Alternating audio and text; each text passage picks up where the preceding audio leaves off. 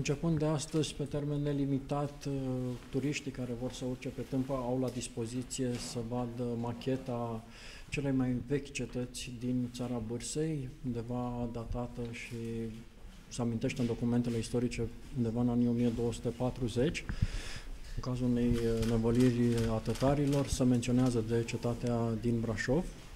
Uh, iată cu, cu ajutorul câtor, câtorva iubitori de istorie care au cercetat documentele și au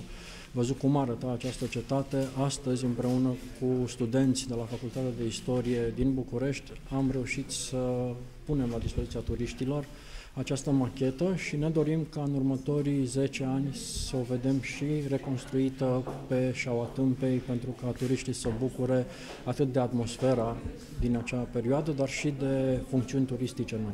Pe lângă machetă vor putea avea acces și la alte informații despre cetatea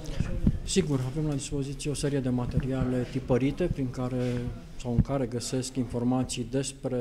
Muntele Tâmpa și cetatea Brașovia și de asemenea, începând din ianuarie, avem la dispoziția turiștilor audioghiduri, astfel încât punctele care sunt deja marcate la nivelul cetății să fie explicate prin acele audioghiduri în ce punct sunt al cetății și să știe istoria acestei cetăți. În limbile de circulație internațională, primul rând limba română, după aceea maghiară, germană, engleză și franceză. De câți bani ar fi nevoie pentru reconstruirea cetății? Uh, din păcate nu putem face o estimare foarte exactă pentru că primii cinci ani sunt uh, destinați cercetărilor arheologice și descărcării arheologice. Se pare că sub ea există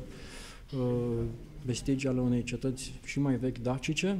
și atunci trebuie făcute aceste săpături arheologice și undeva, de asta am spus, în următorii 10 ani să sperăm că o să putem, după ce se face descărcarea arheologică, să reconstruim la acest uh, nivel fosta cetate Brașovia.